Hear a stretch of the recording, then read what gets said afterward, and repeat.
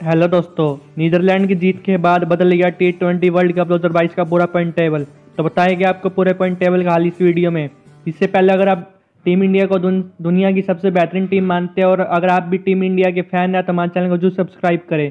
आपको बता दें कि आज नीदरलैंड और साउथ अफ्रीका के बीच में मैच खेला गया। इसमें साउथ अफ्रीका ने टॉस जीतते हुए पहले बॉलिंग करने का फैसला लिया। वहीं नीदरलैंड ने बैटिंग करते हुए एक सौ अट्ठावन रन चार विकेट के नुकसान पर पूरे बीस ओवर में बनाए।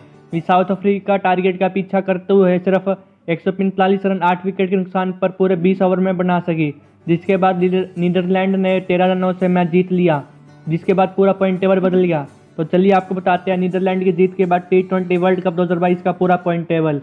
ग्रुप ए की बात करें तो न्यूजीलैंड पहले नंबर पर सात पॉइंट है, के साथ है दूसरे नंबर पर इंग्लैंड टीम सात पॉइंट के साथ, तीसरे नंबर पर ऑस्ट्रेलिया टीम सात पॉइंट के साथ, चौथे नंबर पर श्रीलंका टीम चार पॉइंट के साथ।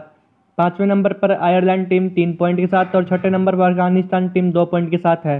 वहीं ग्रुप बी की बात करते हैं इंडिया पहले नंबर पर छः पॉइंट के साथ, दूसरे नंबर पर साउथ अफ्रीका टीम पाँच पॉइंट के साथ, तीसरे नंबर पर पाकिस्तान टीम चार पॉइंट के साथ, चौथे नंबर पर नीदरलैंड टीम चार पॉइंट के साथ है।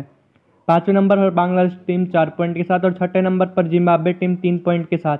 इसी तरह से क्रिकेट की अपडेट पाने के लिए हमारे चैनल को जो सब्सक्राइब करें। धन्यवाद।